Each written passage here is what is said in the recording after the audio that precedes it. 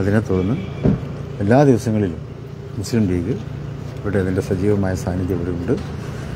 അവിടെ ദുരിതാശ്വാസം നടത്തുന്നതിൽ അവിടെ എന്താണോ ചെയ്യേണ്ടത് ആ കാര്യങ്ങളെല്ലാം വളരെ ശ്രദ്ധിച്ചിട്ടുണ്ട്. വന്നതുപോലെ തന്നെ ഇനി ഉരുൾപൊട്ടൽ കഴിഞ്ഞു. അവിടെ ജനങ്ങൾ ഒരുപാട് പേര് നമ്മളിൽ നിന്നും വിട പറഞ്ഞു. ഇനി അവശേഷിക്കുന്നവർക്ക് അവരുടെ പുനരധിവാസമാണ് പാർട്ടി ലക്ഷ്യം വെക്കുന്നത്. അതിന് ആവശ്യമായിട്ടുള്ള ഫണ്ട് ശേഖരണമായി ഞങ്ങൾ മുന്നോട്ട് പോവുകയാണ്. ഇന്നിപ്പോൾ രാവിലെ ഞങ്ങൾ അവിടെ പോയി നേരിട്ട് ആ സ്ഥലങ്ങളൊക്കെ ഒന്നുകൂടി സന്ദർശിച്ചു. അവിടുത്തെ പ്രത്യാഘാതങ്ങൾ വിലയിരുത്തുകയുണ്ടായി. ഇന്നിപ്പോൾ ജില്ലാ മുസ്ലിം ലീഗ് കമ്മിറ്റിയുമായും അതുപോലെ തന്നെ സ്റ്റേറ്റ് നേതാക്കളെല്ലാം നമ്മൾ കൂടി. ഇവിടെ പ്രത്യേകമായി മുസ്ലിം ലീഗ് രൂപീകരിച്ച ഉപസമിതി ഉണ്ടായിരുന്നു.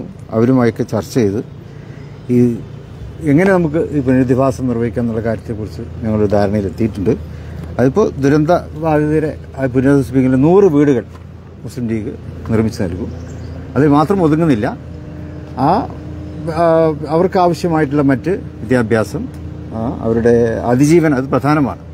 പലതും എല്ലാം നഷ്ടപ്പെട്ടവരാണ്. അവർക്ക് അവിടുത്തെ ആ തലമുറയ്ക്ക് അതിജീവനത്തിന് എന്താണോ ആവശ്യം അവർക്ക് തൊഴിൽ വേണ്ടി വരും.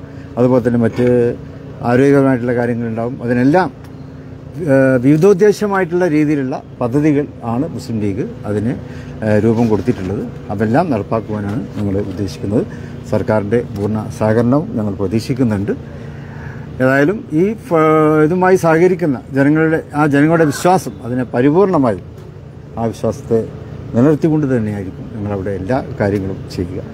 ഞങ്ങളെ പ്രഖ്യാപനം പൂർണമാണ്. നിങ്ങൾക്ക് എന്തെങ്കിലും സംശയങ്ങളുണ്ടെങ്കിൽ മാത്രം ഈ പറഞ്ഞാൽ സർക്കാർ അവിടെ ഒരു ടൗൺഷിപ്പ് മാതൃകയാണ് ഉദ്ദേശിക്കുന്നത്. പ്രാഥമികമായി ലഭിക്കുന്ന വിവരം അപ്പോൾ സർക്കാർ മുന്നോട്ട് വെക്കുന്ന ചേർന്ന് നിൽക്കും. ഓൾ പാർട്ടി മീറ്റിങ്ങിലൊക്കെ ഓൾ പാർട്ടി മീറ്റിങ്ങിലുള്ള നിർദ്ദ സജഷൻസൊക്കെ വന്ന് അങ്ങനെ ഒരു ആശയം സർക്കാർ പറയുന്നുണ്ട്. പക്ഷേ അതിന്റെ അന്തിമ രൂപ മനസ്സിലായില്ലല്ലോ. മനസ്സിലാകുന്ന മുറക്ക് കാര്യങ്ങൾ ഞങ്ങളും ചർച്ച ചെയ്ത് തീരുമാനിക്കും. പാർട്ടി സ്വന്തമായി തന്നെ നൂറ് വീട് വെച്ച് കൊടുക്കുകയും തങ്ങൾ പറഞ്ഞതുപോലെയുള്ള എല്ലാ ബാക്കി അവിടുത്തെ ആവശ്യങ്ങൾ കണ്ടറിഞ്ഞ് ചെയ്യുകയും ചെയ്യുക എന്നുള്ള ഒരു വലിയ പദ്ധതി തന്നെയാണ് ഉദ്ദേശിക്കുന്നത്. ബാക്കി കാര്യങ്ങളൊക്കെ സർക്കാരിന്റെ കാര്യങ്ങൾ തീരുമാനമാകുന്ന ഞങ്ങൾ വ്യക്തമാകുന്നതും അന്തിമ തീരുമാനമൊന്നും ആയില്ലല്ലോ. ആകുന്ന മുറക്ക് കാര്യങ്ങൾ ആലോചിക്കും. ഏതായാലും സർക്കാരിന്റെ സഹകരണം പ്രതീക്ഷിക്കുന്നു തങ്ങൾ പറഞ്ഞു. ഈ അനാഥരാകുന്ന കുട്ടികൾ കുറച്ച് പേരുണ്ട്. ഒരുപാട് പ്രശ്നങ്ങൾ. പ്രശ്നങ്ങളുണ്ട്.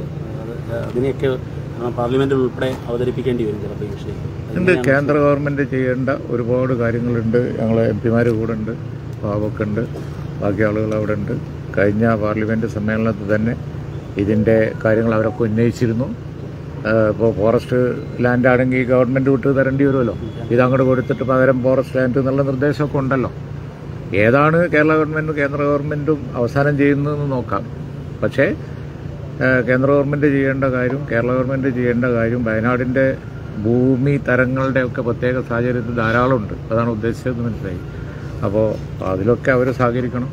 പക്ഷേ പാർട്ടി ഒരു വലിയ മെഗാ പ്രോജക്റ്റ് ഉദ്ദേശിക്കുന്നു. അതാണ് തങ്ങളിവിടെ പ്രഖ്യാപിച്ചത് ഇന്നിപ്പം കേന്ദ്ര വനം പരിസ്ഥിതി മന്ത്രി വളരെ മോശമായിട്ടാണ് കേരളത്തിനെതിരെ പറഞ്ഞിരിക്കുന്നത്. കാരണം ഈ ദുരന്തമുഖത്ത് ഇത്രയും പേര് ഈ കണ്ണീരിലാക്കി നിൽക്കുന്ന സമയത്ത് എല്ലാവരും ഒരുമിച്ച് നിൽക്കുമ്പോൾ പറയുന്നത് കേരളം ഉണ്ടാക്കിയതാണ് ഈ ദുരന്തം എന്നുള്ളതാണ്. പറയുന്നത് ഇപ്പം പറയുന്നത് വളരെ മോശമാണ്. ഇപ്പം എല്ലാവരും ഒറ്റക്കെട്ടായി നിന്ന് ഈ കണ്ണീരൊപ്പാൻ നോക്കുകയാണ്. ചെയ്യേണ്ടത്. അപ്പോൾ പൊളിറ്റിക്സ് അമിതമായി പറയണ്ട എന്നാണല്ലോ. ഇവിടെ ഓപ്പോസിഷൻ ലീഡർ വന്നു രാഹുൽ ഗാന്ധി. അദ്ദേഹം വളരെ ക്ലിയർ ആയിട്ട് പറഞ്ഞില്ലേ? ഞങ്ങളൊക്കെ ഒരു പൊളിറ്റിക്സും പറയില്ല എന്നല്ല. ചൂണ്ടിക്കാണിക്കേണ്ടത് ചൂണ്ടിക്കാണിക്കുക തന്നെ ചെയ്യും. പക്ഷെ സഹകരിക്കുകയാണല്ലോ മൊത്തത്തിൽ. അതിൽ നിന്ന് വ്യത്യസ്തമായി പുറപ്പുറത്തിരുന്ന് കയറിയിരുന്ന് രാഷ്ട്രീയം പറയുന്നത് കേന്ദ്രം അവിടെ ഇരുന്ന് പറയുന്നത് അതൊന്നും ശരിയല്ല. ഈ ദുരന്തത്തിന്റെ വ്യാപ്തി ഇങ്ങനെ അനുദിനം ഏറി വരുന്ന സാഹചര്യത്തിൽ പോലും എന്തുകൊണ്ടാണ് ഒരു ദേശീയ ദുരന്തമായി ഇതുവരെ പ്രഖ്യാപിക്കാത്തത്? ദേശീയ ദുരന്തമായി പ്രഖ്യാപിക്കുന്ന ഓൾ പാർട്ടി മീറ്റിംഗ് ആവശ്യപ്പെട്ട് ഞങ്ങളൊക്കെ ആവശ്യപ്പെട്ടിരിക്കുക ദേശീയ ദുരന്തമായി പ്രഖ്യാപിക്കുന്നതോടുകൂടിയാണ് കേന്ദ്ര ഗവൺമെന്റിന്റെ ആനുകൂല്യത്തിന്റെ മാനദണ്ഡം ക്ലിയർ ആകുക അത് ചെയ്തേ പറ്റുള്ളൂ. അതാണ് അഭിപ്രായം ഞങ്ങൾക്കുള്ളത്. ശരി. എന്നാൽ. താങ്ക് യു ഓക്കെ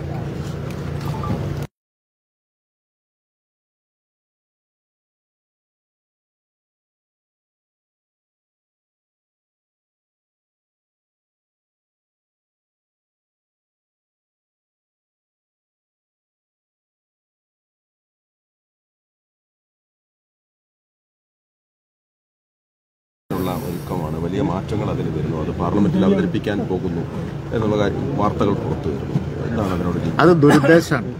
യാതൊരു സംശയവുമില്ല. കേന്ദ്ര ഗവൺമെന്റ് ഈ തരത്തിലുള്ള അജണ്ടകൾ കമ്മ്യൂ വർഗീയ അജണ്ടകൾ എടുക്കുന്ന കൂട്ടത്തിൽപ്പെട്ട് ചെയ്യുന്ന ദുരുദ്ദേശപരമായ ഒരു നടപടിയാണ്. അതിനെ ശക്തിയുക്തം ഞങ്ങളൊക്കെ എതിർക്കും.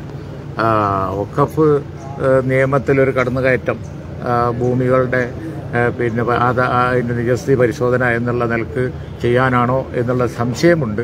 അവരെ ഡ്രാഫ്റ്റ് വരട്ടെ. എം പിമാർക്കൊക്കെ ഞങ്ങൾ നിർദ്ദേശം കൊടുത്തിട്ടുണ്ട്. വളരെ വിജിലന്റ് ആയിരിക്കണം